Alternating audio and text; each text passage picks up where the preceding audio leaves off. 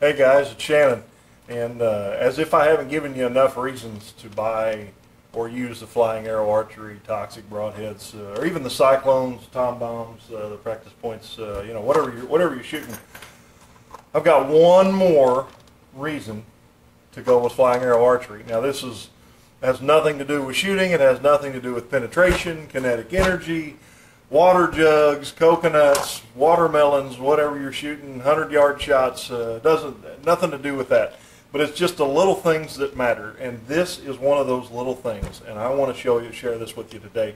I just ordered some competitor broadheads so we can put them up against the Flying Arrow Archery Toxic Broadhead.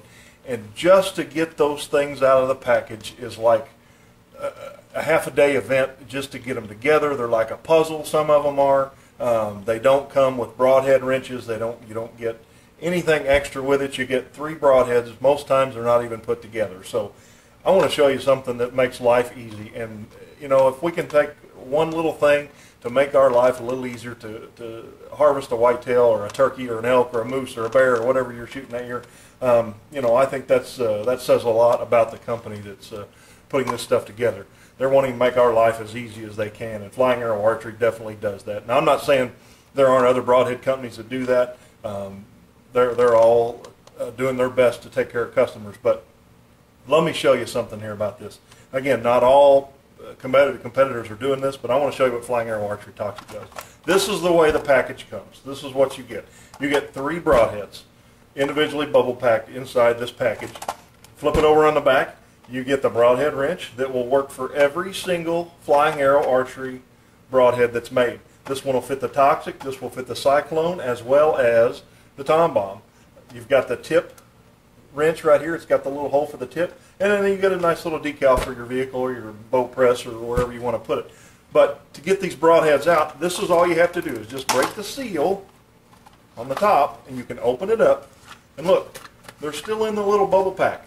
They don't all fall out in your lap. You know, open this up, you can hold it here, and you take one out, and you can close up the package and seal it back up. They're all still in there, and I have one broadhead out. I didn't have to tear the package up. I got one out. So if I take that one and I shoot it, and I'm not going to shoot it anymore the rest of the season, I don't have to leave it on my arrow. I don't have to leave it in my quiver. I can put my field tips on. I don't have to leave it in my bow case loose like that because now I don't have to throw my package away. So if I want to put this back in to store it, well here, again, we're going to open this up. We're going to lay it right in the bubble wrap, or bubble packaging there. We're going to put the lid back on, and we're going to close it up. And look, I took it out, put it back in, the broadhead wrench never moved because it's cut in this little slot here to fit. Everything's back in the package the way it's supposed to be, and I can carry these around. They're out of the weather. There's not getting moisture on them. They're not getting hit on anything. They're protecting my bow. If I have to put them in my bow case, the blades are not going to cut my strings because I still have the package. So, again, easy in, easy out. Put them back in there. Just the, it's the little things that companies like Flying Arrow Archery does that makes our life a little bit easier.